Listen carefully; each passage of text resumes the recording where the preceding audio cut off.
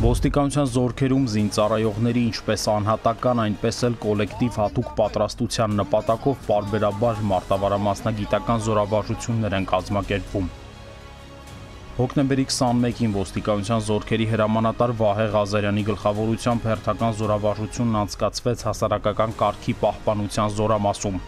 Ըստ պայմանական իրադրության քաղաքի բանուկ հատվածներից մեկում չարտոնված հավաքը դուրս է եկել կազմակերպիչների վերահսկողությունից, massայական անկարգություններ են տեղի ունենում եւ հասարակական կարգը վերականգնելու անհրաժեշտություն կա։ Հատուկ օպերացիայի կազմակերպումից առաջ Զորամասի հրամանատարը զորքերի ղեկավար կազմին է ներկայացնում ստեղծված իրավիճակը, անկարգություններ հրահրող անձանց գործողությունների բնույթը։ Որոշվում է, որ օպերացիան պետք է անցկացնի երրորդ գումարտակը։ Գումարտակի հրամանատարը զեկուցում է ղեկավար կազմին, թե խմբ բակային խախտումների ակտիվ մասնակիցներին եւ կազմակերպիչներին մեկուսացնելու ուղղությամբ ինչ գործողություններ են պատրաստվում ծավալել, միաժամանակ ներկայացնելով թե ինչպիսի հատուկ միջոցներ ու մարտական ինչ տեխնիկա է անհրաժեշտ ուժերի տեղաբաշխումն ինչպես է պատկերացնում։ Օպերատիվ պլանը հավանության է արժանանում։ Հատուկ գումարտակն անցնում է առաջադրված խնդրի իրականացմանը։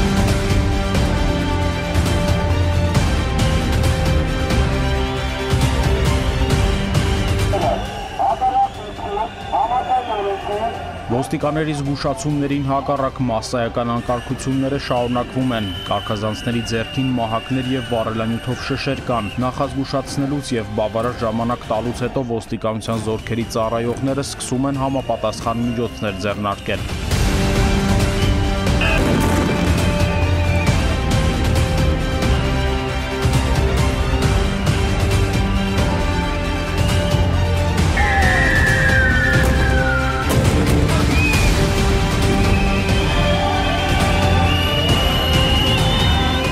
լուսաձայնային հատուկ միջոցներ, ջրցան մեքենա։ Հասարակական կարգի խմբակային խախտումների ակտիվ մասնակիցները մեկուսացվում են եւ տեղափոխվում ոստիկանության տարածքային բաժիններ։